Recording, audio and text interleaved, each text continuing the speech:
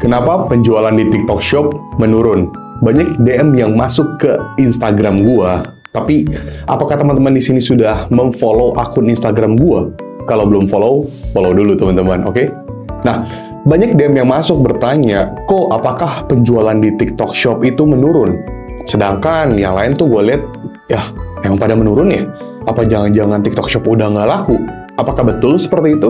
Mereka pada bertanya, katanya dulu waktu live streaming itu yang nonton bisa ribuan, terus itu menurun menjadi ratusan, dan sekarang puluhan, bahkan kadang di bawah 10. Cuma 5, 7 yang stay ya, yang stay nontonnya itu cuma segitu doang, padahal tadinya tuh bisa ribuan atau ratusan.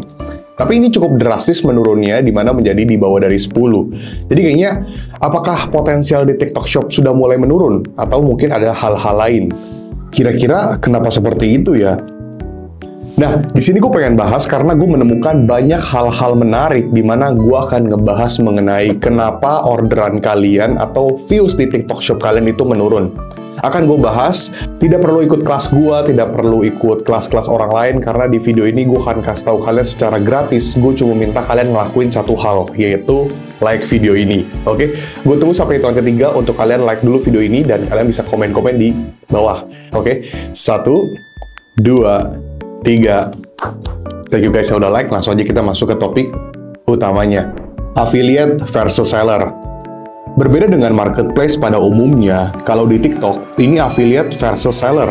Ini bisa menguntungkan, namun bisa juga negatif. Tentu saja untuk mempunyai produk sendiri atau bisa mempunyai harga jual lebih rendah, maka seller dapat bekerja sama dengan afiliator.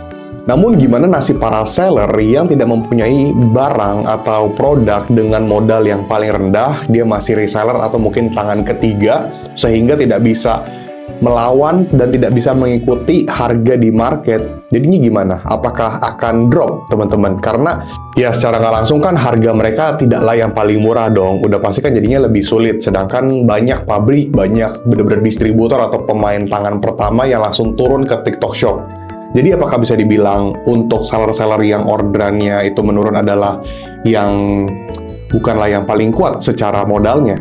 Secara nggak langsung, seller akan melawan affiliate. Contoh, ada yang menjual produk yang sama. Seller menjual produk misalnya tripod tipe A, dia nggak mempunyai affiliate atau hanya sedikit kemudian melawan affiliate yang menjual tripod tipe A juga, namun affiliate ini dari toko yang lain yaitu toko kompetitor kalian sendiri. Secara nggak langsung, kalian bersaing dengan seller dan affiliate yang bekerja sama. Jadi bukan seller versus seller lagi, melainkan seller versus seller dan affiliate.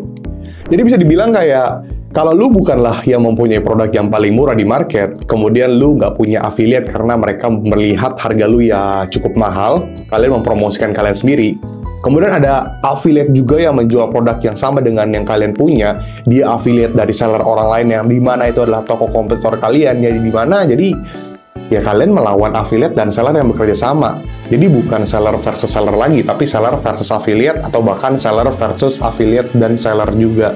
Jadi kayak cukup pusing ya. Type of ads. Siapa yang berani spending, maka dia yang akan laku dan sering muncul. Apakah itu betul?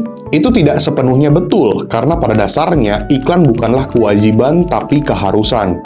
Kalau kalian ingin produk, video, dan live streaming kalian lebih sering muncul di potensial customer, maka kalian harus iklan. Kenapa? Yang pertama, banyaknya seller dan affiliate yang sudah beriklan akan membuat produk kamu tenggelam. Yang kedua, iklan bertujuan untuk produk atau konten kamu disebar ke banyak orang selain mengandalkan FYP.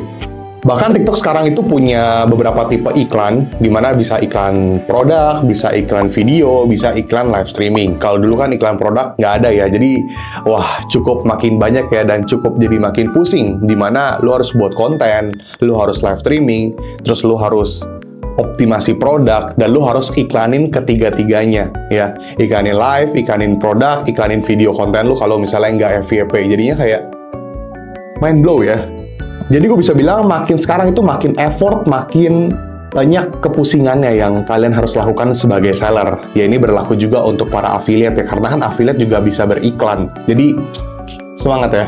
Yang ketiga, fresh content. Membuat konten yang berbeda menjadi daya tarik tersendiri dan menarik perhatian penonton. Kenapa demikian? Banyaknya template atau jenis-jenis konten terkadang membuat audiens bosen, sehingga mereka malas menonton. Ya iyalah, video durasi 15 detik. Apa sih yang bisa kita dapatkan informasi di video kurang dari satu menit? Tapi makin lama makin lama gue lihat kayaknya daya orang menonton makin menurun. Jadi 10 detik, 8 detik, 7 detik, pokoknya lama-lama makin sedikit gitulah.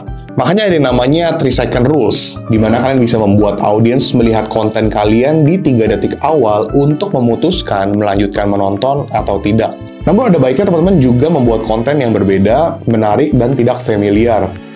Kalau bisa jangan terlalu template, orang itu bosen. Susah ya? Pasti susah lah. Apalagi buat kita yang basicnya bukan konten kreator atau di bidang kreatif. Pasti berat banget. Makanya kalian bisa testing-testing konten Kalian bisa testing-testing konten yang sekiranya oke okay di tempat kalian atau mungkin kalian punya ide yang cukup banyak, kalian ngelakuin sekreatif mungkin ketika ada satu yang FYP. Nah, tipikal konten yang seperti itu yang bisa kalian fokusin. Baik secara syutingnya seperti apa, editingnya seperti apa, dan pembahasannya seperti apa. Jadi yang penting tipe kontennya kalian testing dulu sampai menemukan rumus atau formula yang tepat di akun kalian dan pembahasan yang cocok untuk kalian bahas, maka konten itulah yang harus kalian boosting. Nah guys, itu adalah tiga alasan dan solusi supaya TikTok kalian itu yang sepi menjadi ramai kembali. Capek ya? Ya capek lah, namanya juga usaha, namanya juga bisnis pasti melelahkan. Namun gue bisa bilang memang sekarang itu persaingan semakin ketat dan juga fitur-fitur semakin banyak. Jadi kita harus pintar-pintar dalam memaksimalkan apa yang kita punya saat ini.